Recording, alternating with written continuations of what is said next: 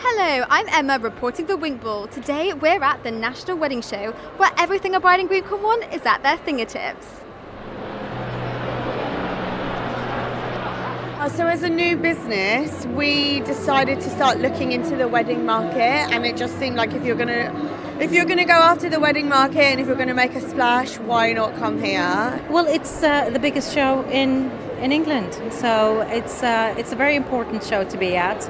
It's got everything. It's got like the cake, the dress, like all the different accessories and I think it's part and parcel of being a bride and getting engaged is going to these things and it's the initial stages of planning. They've got engaged, you know, where do they start? So they come and chat to us and we can kind of hand held them through the whole process. It's a fabulous way of getting a lot of inspiration under one roof as well.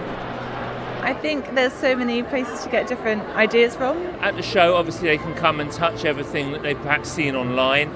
Um, they can look at colours, quality of print. You know, it's quite easier for us to see customer, face-to-face customer from exhibition.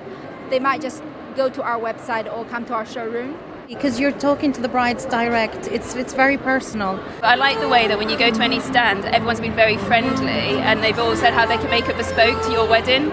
I'm meeting all the brides, real life brides, hands on. So it gives me the opportunity to sort of interact with them, find out what it is they love about my dresses, find out what they're looking for. So they've got what's on offer, but then it's very much whatever you want, we can sort of tailor it to make it really personal for your wedding, which it's nice to be able to sort of get away from like the Instagram and like the websites and actually speak to the people that, yeah.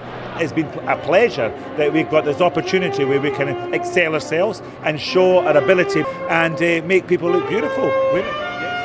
From a 100 year old tiara to a bespoke bouquet, the National Wedding Fair has everything a girl and boy could want. I'm Emma, reporting for Winkball. See you next time.